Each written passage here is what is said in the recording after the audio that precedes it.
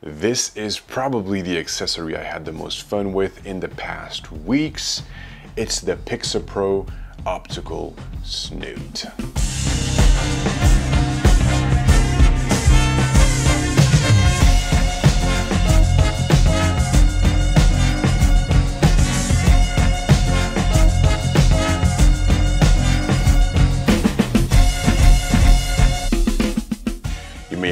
On my Instagram, lately I've been sharing a lot of portraits. And no, I'm not quitting dance photography. I'm still photographing performers. It's just that since the COVID situation that started last year, I've decided to develop my skills in work that I don't do often. I usually work on location. I use strobes to light my subjects and I you know, I like to play with my environment. So to shake things up, I decided to work at home, like in a studio environment, in my tiny home studio. I decided to use continuous lights with my strobes, to play with colors, to use backdrops, and of course, to shape my light a little bit more. And this is where the optical snoot comes in, this thing right here. I have only scratched the surface with this tool, but I believe that I have enough experience right now to already share my experience with it.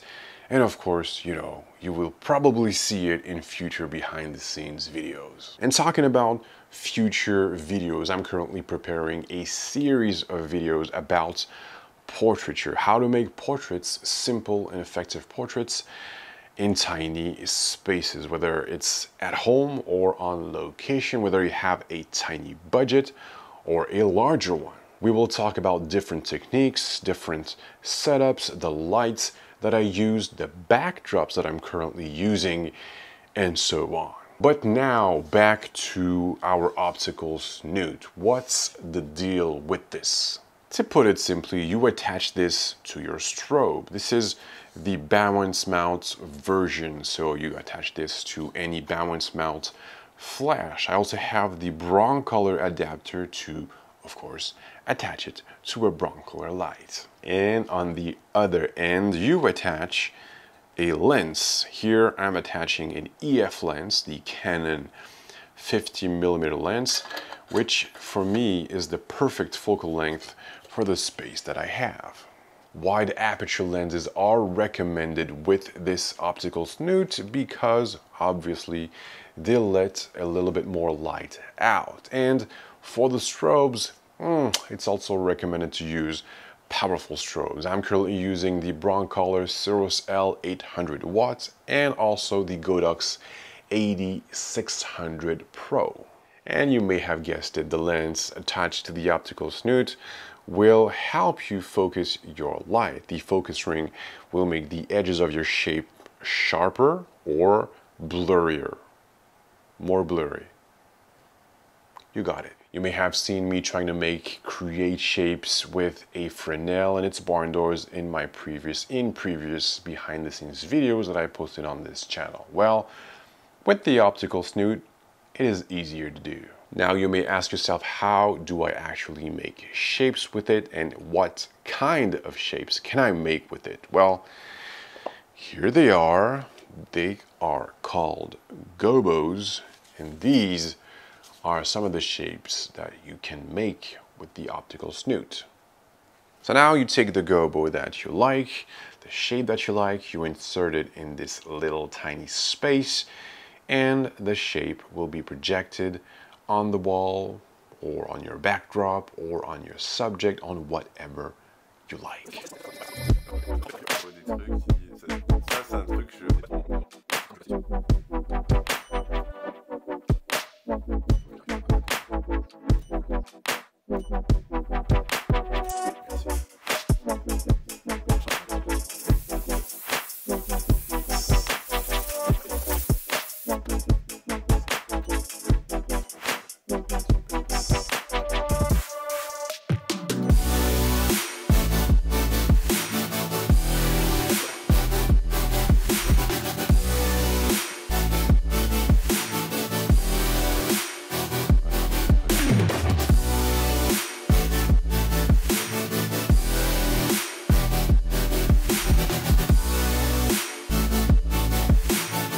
Here are a few examples. Here are some of my favorite shapes projected on my backdrop.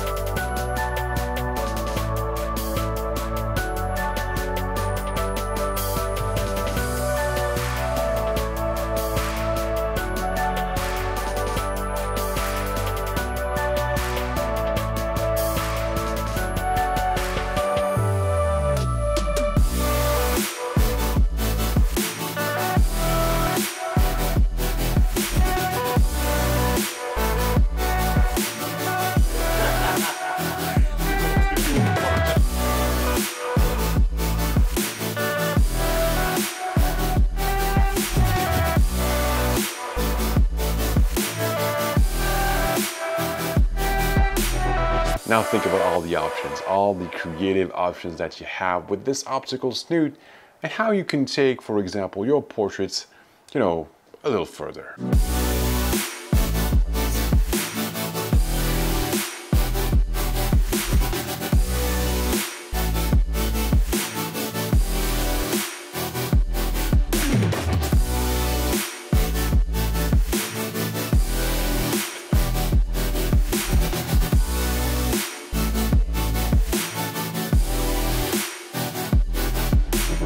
The next step for me with this thing is to, yeah, probably take it with me on a bigger project on location.